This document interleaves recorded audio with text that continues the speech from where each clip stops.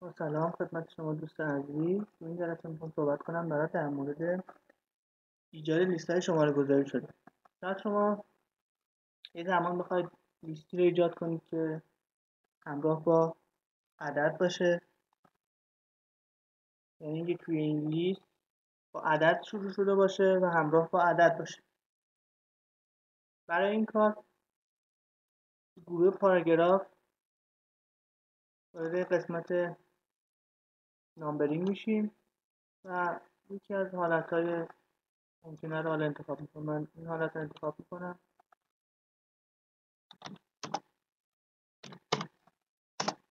شما امکانی دارید که لول این لیست خودتون رو تغییر بدین یعنی جلوتر بدین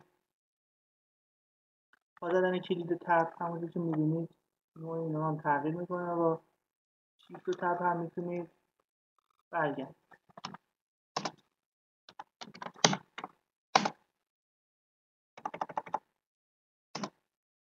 می‌خوام این لول برگردم عقبتر به این صورت.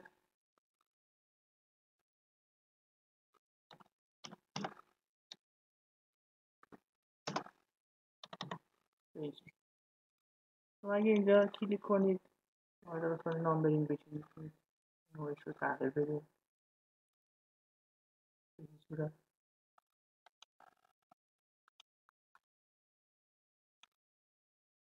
این قسمت می‌تونید لول لیست خودتون ببینید که کدوم لول قرار گرفته کدوم سطح هستش. تو این قسمت می‌تونید یه لیست جدید تعریف کنید با یه قالب جدید. تو این قسمت هم می‌تونید برای مشخص کنید که عددهایی که قرار شروع بشه با چه عددی شروع بشه. وارد این قسمت میشم. هم می‌بینید می‌تونید قالب بندیش رو تغییر بدید یعنی چه سطحی داشته باشه؟